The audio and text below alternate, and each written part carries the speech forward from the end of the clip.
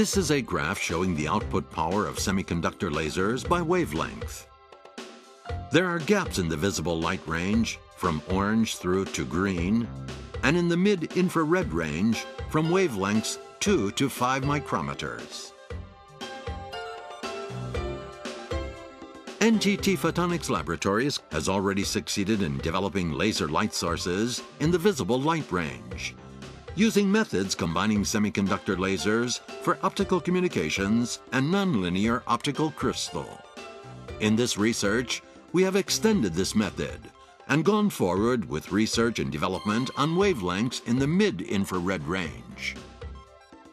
The molecules of various gases, such as carbon dioxide and methane, have strong absorption wavelengths in the mid-infrared range.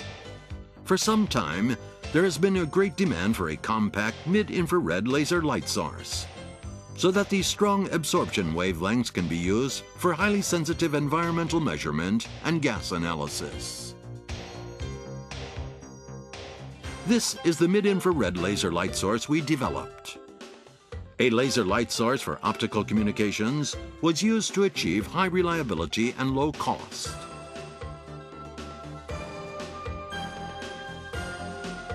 The device is based on two semiconductor laser light sources and a nonlinear optical crystal waveguide.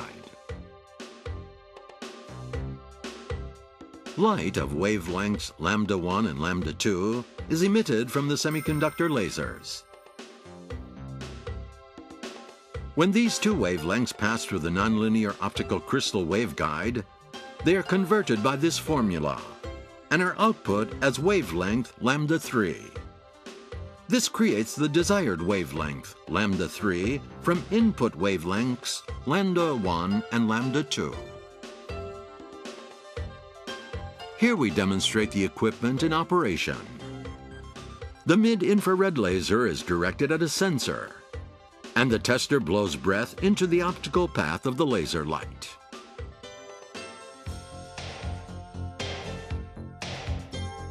The waveform on the oscilloscope shrinks significantly. This wavelength is an absorption wavelength of carbon dioxide gas. This shows real-time measurement of the carbon dioxide gas in the tester's breath.